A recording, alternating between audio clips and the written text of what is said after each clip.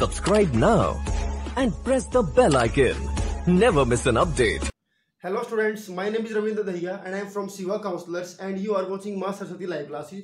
तो स्टूडेंट्स पिछली वीडियो में हम लोग सीख चुके हैं how to change pronouns and how to change tense अगर आप डायरेक्ट से इनडायरेक्ट स्पीच में अपने सेंटेंसेस को कन्वर्ट कर रहे हैं तो किस तरीके से आप प्रोनाउन को चेंज करेंगे और किस तरीके से टेंसेज को चेंज करेंगे, वो हम लोग डिस्कस कर चुके हैं। आज इसी सीक्वेंस की, ये थर्ड वीडियो जिसमें हम सीखेंगे कि कुछ अदर वर्ड्स भी होते हैं, उनको किन वर्ड्स के अंदर हम लोग चेंज करते हैं if we are changing our direct into indirect तो अदर वर्ड से मेरा मतलब यहाँ पर है सेंटेंस के अंदर प्रोनाउन और टेंस के अलावा कुछ ऐसे वर्ड्स बच जाते हैं, जो कि नियरनेस शो करते हैं। किसी भी इंसिडेंट की नियरनेस शो करते हैं, जब हम उसके बारे में बात कर रहे हैं उस बात करने के टाइम के साथ उस इंसिडेंट की नियरनेस को बताते हैं। हमने उसको डिस्टेंस शोइंग वर्ड्स में कन्वर्ट करना होता है। मीन्स के ताकि उसको हम उस डिस्टेंस तक पहुँचा सके जब वो एक्चुअली हुआ था। ओके तो कुछ एक वर्ड्स है, समझ लीजिए कौन कौन से वर्ड है। सबसे पहला है नाव नाव को हम लोग चेंज करते हैं देन के अंदर। उसके बाद है दिस दिस को हम लोग चेंज करेंगे दैट के अंदर। दीज को हम लोग चेंज करते हैं दोज में। एगो को हम चेंज करते हैं बिफोर में।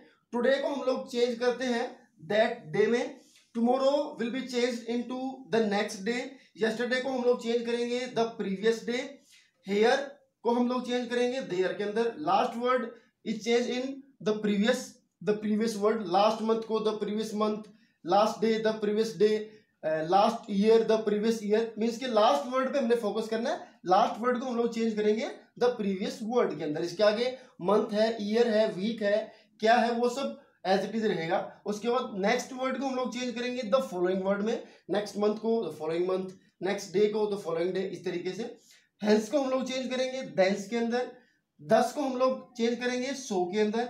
हेयर आफ्टर को हम लोग चेंज करेंगे देर आफ्टर के अंदर। तो ये सभी जो वर्ड्स हमने चेंज किए हैं लास्ट नेक्स्ट दिस दीज ये सभी नियरनेस बताने वाले वर्ड्स हैं और इनको हमने चेंज कर दिया है डिस्टेंस बताने वाले वर्ड्स के अंदर। तो चलिए एक एग्जांपल हम लोग ले लेते हैं, जो समझ लेते हैं कि किस तरीके से इनको हम लोग कन्वर्ट करेंगे। तो स्टूडेंट्स ये इस सीक्वेंस की थर्ड वीडियो है और जहाँ तक रूल्स की बात है, हमने जो ये तीन रूल्स किए हैं चेंज ऑफ़ प्रोनाउंस और टेंस और अदर वर्ड्स ये वो रूल्स है जो हर तरह के सेंटेंसेस में इंप्लीमेंट होंगे, अगर आप डायरेक्ट से इनडायरेक्ट में जा रहे हैं तो। कुछ स्पेसिफिक रूल्स भी होते हैं जो अकॉर्डिंग टू सेंटेंस चेंज होते रहते हैं, उनकी वीडियोस इसके बाद आनी स्टार्ट हो जाएँगी।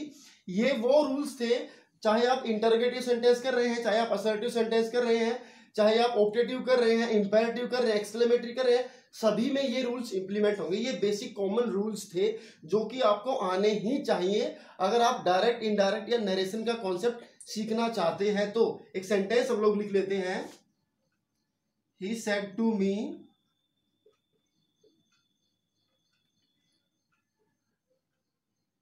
this is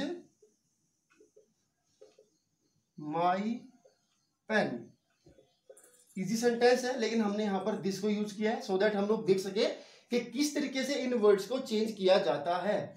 He told me that this को हम लोगों ने किसमें चेंज करना है? दैट के अंदर। This is the actual concept that was his pen तो स्टूडेंट्स हमने यहाँ पर तीनों ही चीज़ें देख ली हैं।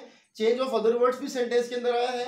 टेंस भी चेंज इसके अंदर मैंने करके दिखाया प्रोनाउन भी मैंने करके चेंज इसके अंदर दिखाया। एक बार समझ लीजिए ही टोल्ड मी दैट यहाँ तक का कंसेप्ट क्लियर है। उसके बाद दिस को हमने चेंज किया दैट में according to the rule how to change other words उसके बाद इज़ एम आर चेंज होते हैं वोज वर्ड के अंदर।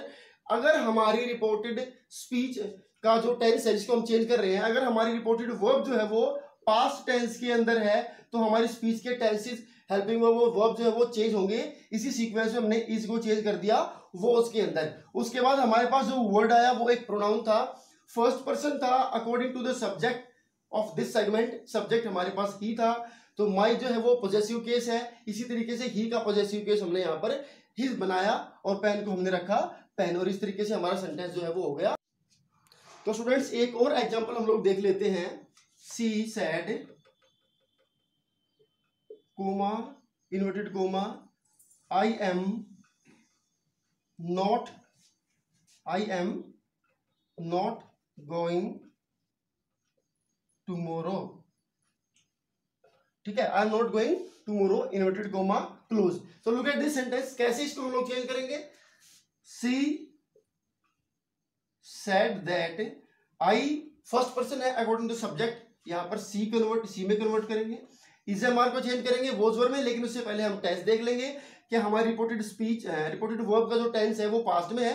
जी हाँ ये पास्ट में है। तो am are change into was were और सी के साथ वोज नॉट गोइंग टूमोरो को हमने किसमें चेंज करना था? The next day the next day तो दिस इज़ योर सेंटेंस तो इस तरीके से हम लोग कन्वर्ट करेंगे। तो तीनों ही रूल ये आपको हमेशा अपने दिमाग में रखने हैं whether you are changing sentence whether you are changing interrogative whether you are changing exclamatory optative और इंपेरेटिव तो ये बेसिक रूल्स थे जो हर स्टूडेंट को आने चाहिए। अगर आपको ये कॉन्सेप्ट समझना है अच्छी तरीके से, अब नेक्स्ट वीडियो जो भी होंगी स्टूडेंट्स इस कंसेप्ट के बारे में, वो होगी टाइप्स ऑफ़ सेंटेंसेस के ऊपर। तो टाइप्स ऑफ़ सेंटेंसेस हम नेक्स्ट वीडियोज़ में करेंगे और वन बाई वन उसको हम पिक करेंगे। सबसे पहले हम लोग अगली वीडियो में करेंगे।